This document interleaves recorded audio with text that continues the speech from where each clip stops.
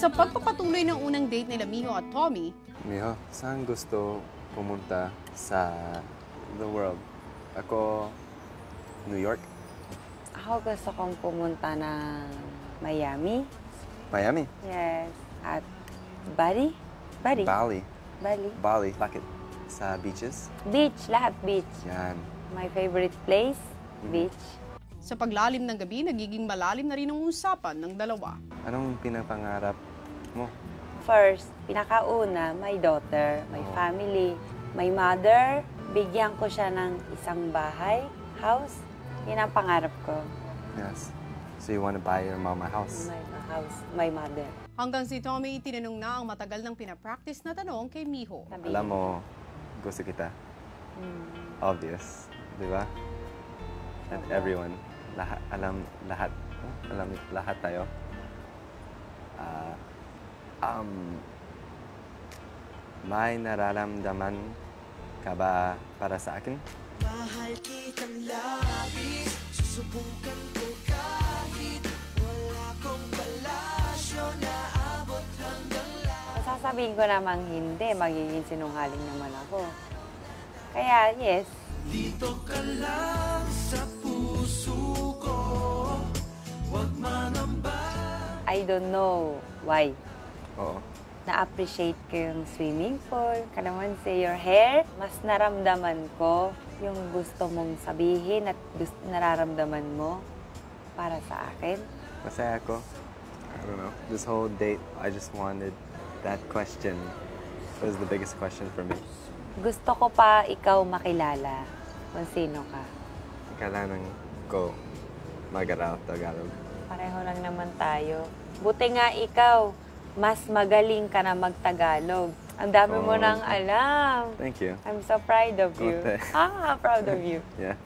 First time ko naramdaman na gusto kong matuto. Sa English. Di ba, my friend, Oh. only, all Japanese. Japanese. Aral ako ng English. Paano? Nalung, lu, nalulungkot? Nalungkot? Nalulungkot? Sad? Nalulungkot. Konti. Why? Kasi gusto ko naintindihan tayo.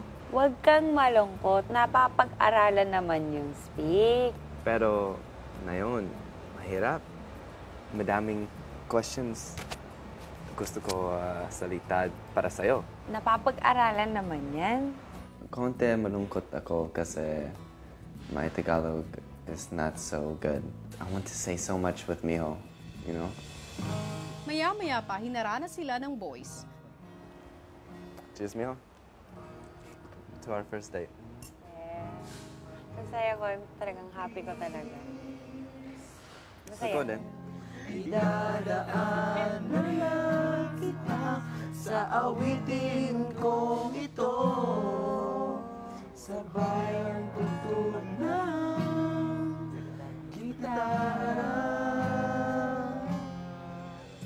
Hanggang sa niyaya ng sumayaw ni Tommy si Miho.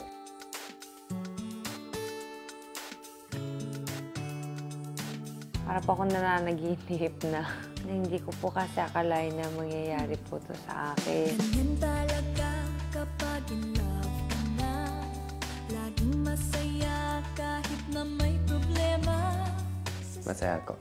It was the perfect date for now, you know?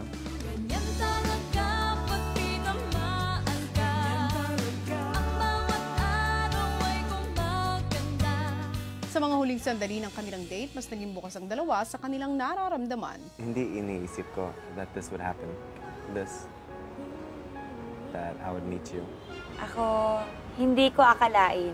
Kasi ako, sa Japan, love life. Oo. Love life? Ayoko.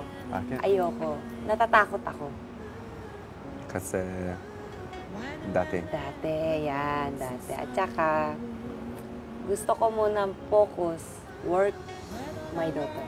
Oo. Only. Oo. Love life, ayoko muna. Oo. Kaya hindi ko akalain dito, mararamdaman ko yung ganito. It's mo. Gets. If this is love Why does it cost me Maya-maya pa nagpa siyang dalawa na bumalik na sa loob ng bahay. Thank you guys. Thank you everyone. Maraming salamat po sa inyo for helping us with the date. Bagong One, two, bagong three. asawa ko. Ano tawag mo sa kanya, Tommy? Asawa na?